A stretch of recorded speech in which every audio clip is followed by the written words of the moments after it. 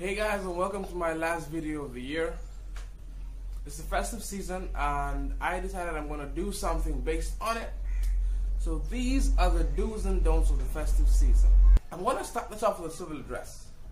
Guys, do not drink and drive. If you feel that you are too drunk to drive, sleep in your car. It's yours. No one's going to chase you the fuck away. Get in there, lock the doors, and sleep until the alcohol wears off. Do not take that shit to the road. There's enough drama on the road without your drunk ass on it. So, guys, please, please, do not drink and drive. There is no excuse to drink and drive, okay? Number two, if you were in a relationship, do not, I repeat, do not use the holidays as your first chance to meet the family. Especially if your significant other has some messed up family. Families have different dynamics. And now you show up and you do not know the dynamic. Some families kiss on the fucking lips for hello. And because they don't know if you're okay with that shit, they can't do it with you. So suddenly that motherfucker will refuse to kiss grandma. Number three, do not feel or do not chase people for your happiness especially in the festive season, you're gonna want to be around motherfuckers who want to be around you. If you have to look for people, those guys don't want to hang with you. If you have to follow them to wherever they have to be, those guys don't want to hang with you. People who want to be around you will look for you and will actually make time for your ass. Okay? We have learned to base a lot of our happiness on other people or on other people's opinion. And that shit's just messed up. That is a very significant factor of low self-esteem. So make your own happiness. Be your own party. Be your own person. Be your own self. Understand what you want and go get it. Number four kind of correlates into number three. Just because your niggas are doing stuff doesn't mean you got to. Especially if you're not on the same financial caliber. You know, there are people who can ball no harm, no foul. Ball Monday to Monday. And they're good. But you got so much going on that you can only ball. You get what I'm saying?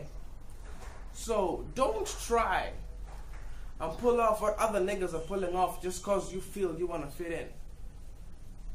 I think I'm done with the don'ts. Let's go to the do's.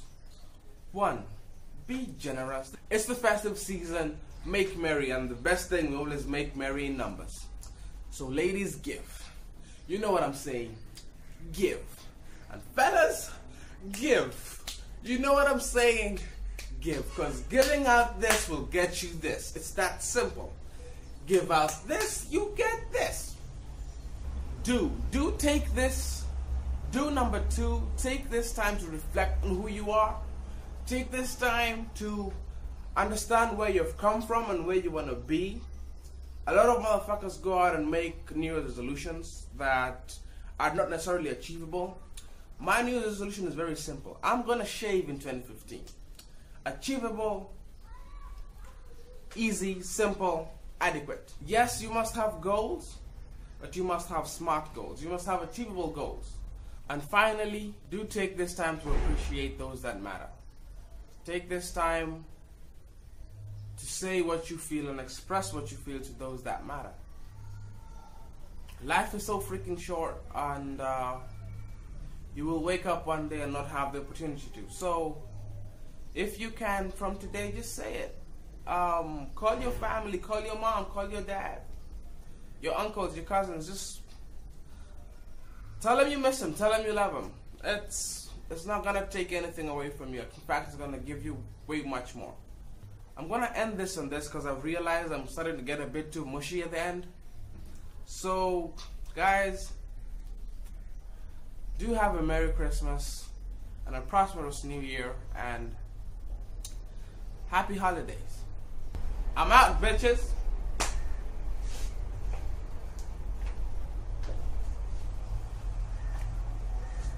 Oh, oh, one, one, one more thing. My Christmas present. Remember, I asked you for a Christmas present. I want you and a friend to subscribe to the channel. That's all I want for Christmas. Just you and a friend to subscribe to the channel. Get me that for Christmas and I'll be the happiest motherfucker ever. So again, I'm out, bitches.